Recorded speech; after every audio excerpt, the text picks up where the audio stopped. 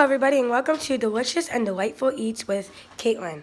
So today I'm going to show you how to make this spooky mac and cheese and it's, or I'm going to call it Halloween mac and cheese and it's going to be for Halloween because it's almost Halloween in like two days. So yeah, and I'm going to, um, recipe comes from Tastemade on Snapchat or their app, so I will put them in the description, either them, the link to them, or the link to that recipe. Best way, so what you need is these cheese, all of this. Now what you're about to pasta too. Now you're just going to boil a some water, make the pot, and make any pasta you want. But I like mm, um, smile noodles with it or elbow noodles, but we only have this, so this is work. So that's step one. Step two, you're going to melt butter in a big pan, and you're going to start to make a roux. So first, you're going to melt some butter in a pan.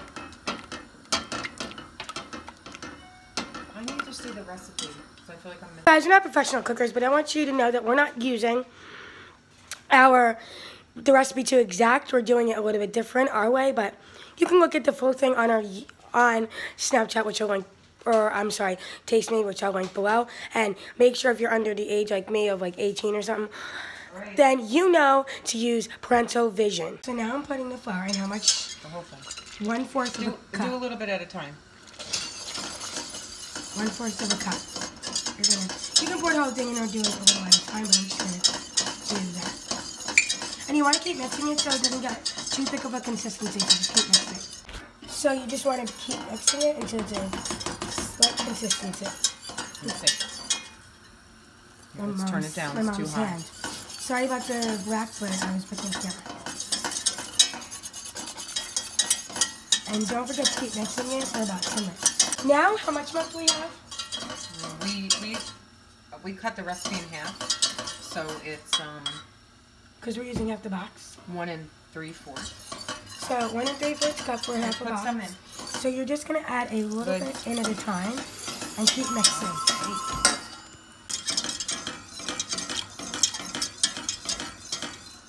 See, now that your mixture is all done, you can put that in the sink. Or sorry, the milk is all gone.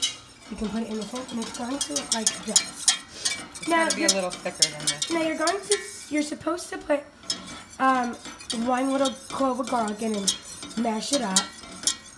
But We'll put a little we're bit just of garlic powder. You can we're going now. to use garlic powder.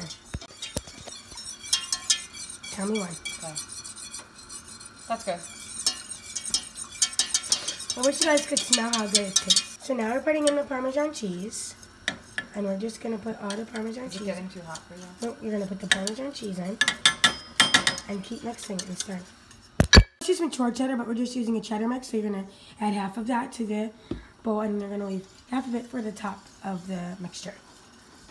Look at how good that looks. Mm.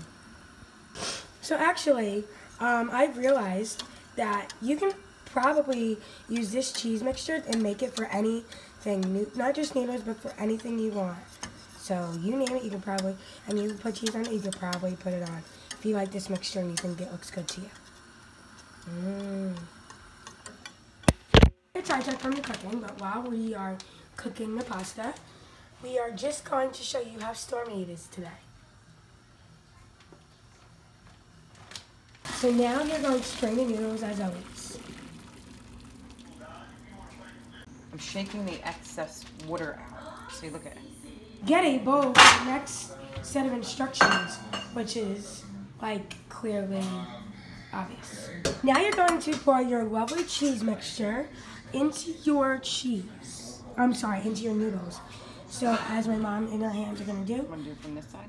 She's going to pour everything in.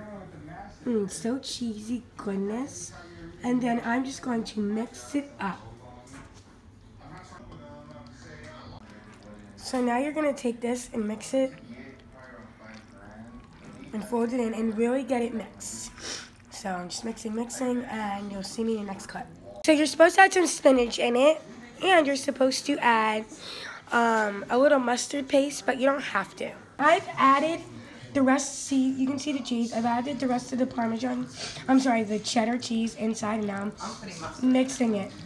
And my mom decided to bake some of it. I put breadcrumbs on it, and she's gonna put a little mashed um, mustard in it. This is optional. One more thing, you can add food coloring to it. Now, how is it Halloweenish? Well, you can add food coloring to it, green food coloring, and mix it in. But number one, it has to be the gel paste food coloring, which because so it doesn't like taste like real food coloring. And second of all, you, that's an optional, um, but we didn't want to do green, but that's how it is Halloween mac and cheese. So I'm sorry my recipe was lame, but you guys can go watch the Tastemade one and you can see the real thing. Thank you for watching and I'll see you next time on Delightful and Delicious Eats. P.S. Just do a little bit of salt, a little bit of salt, and a little bit of pepper. really need salt.